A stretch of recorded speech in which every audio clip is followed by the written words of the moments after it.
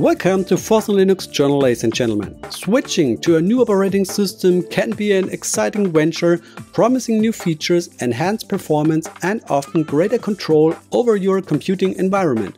However, despite the many benefits that Linux offers, many users find themselves struggling and eventually reverting to their previous system.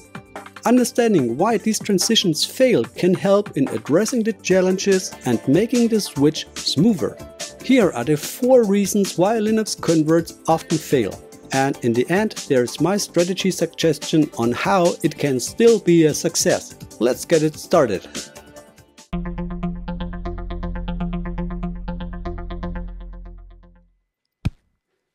Many users have been accustomed to the interface and functionality of Windows or macOS for years. Switching to Linux requires learning new ways to accomplish everyday tasks which can be time-consuming. Changing habits, such as installing software through familiar app stores or using specific keyboard shortcuts, can be frustrating, especially when the new method seems less intuitive or efficient. Additionally, users are often comfortable with the appearance and operation of their old system. Any deviation can be perceived as an obstacle even if it is not a downgrade.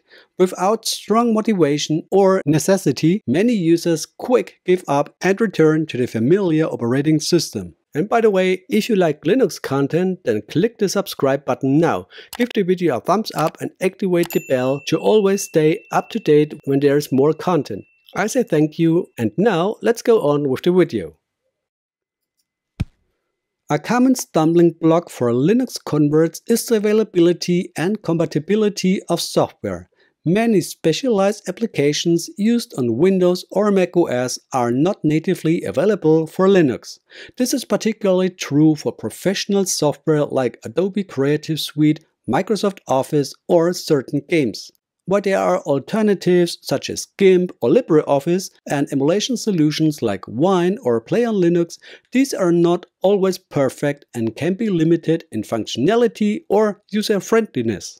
Using alternatives often requires users to adapt new workflows and potentially forget certain familiar features. This can be particularly problematic in professional environments where specific software functionalities are essential for workflows.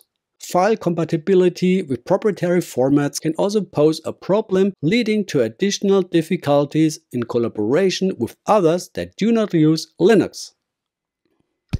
Linux can require more technical knowledge, especially when it comes to system configuration, driver installation, or solving compatibility issues. While modern Linux distributions like Ubuntu or Linux Mint aim to be user-friendly, there are still situations where terminal commands are necessary or specific technical knowledge is required. New users might struggle to get used to use terminal commands and finding solutions independently. Even simple tasks like installing a printer or configuring a Wi-Fi connection can seem more complex if they do not run as smooth as they do on Windows or Mac OS. The need to sometimes rely on technical forums or documentation to solve problems can be discouraging. This is particularly relevant in a world where users are increasingly accustomed to plug-and-play solutions and instant results. Frustration with such technical hurdles can cause users to give up before fully realizing the benefits of Linux.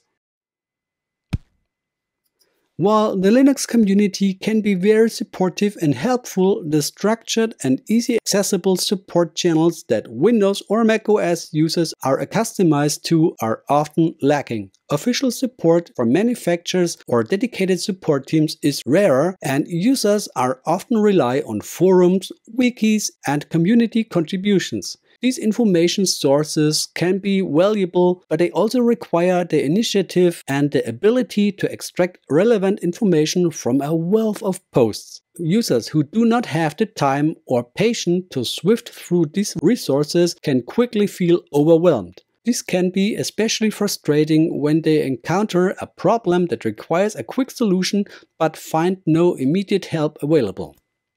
The often fragmented nature of the Linux community with many different distributions and therefore different support sources can be additionally confusing. Unlike a centralized support system often available with proprietary operating systems, Linux users may need to consult multiple sources to get the help they need.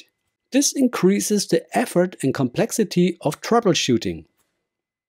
These reasons lead many converts to eventually decide to return to their familiar operating system as the effort and challenges of switching often seem greater than the perceived benefits. For many users, the initial hurdles overweight the long-term advantages that Linux could offer, especially if they are in an environment where they need to work quickly and efficiently. And now the question remains how to fix this. First of all, don't bury your head in the sand. If something goes wrong along the way and you can't solve the problem, it might be better to roll back as a first measure rather than getting stuck and then throwing everything away in frustration. Over the time using Linux, I had quite a few inquiries and requests about it. On my YouTube channels, you can find many videos in the subject. I even created videos on switching to Linux. This might help you as a first measure if you're feeling stuck. Here's a brief overview of my recommended strategy. First, test different Linux distros like Ubuntu, Linux Mint or Zorin OS and virtual machines on your current operating system. Once you found your favorite, the next step is to try it on physical hardware. I recommend using a secondary device to do this. It could be an old laptop or a decommissioned PC.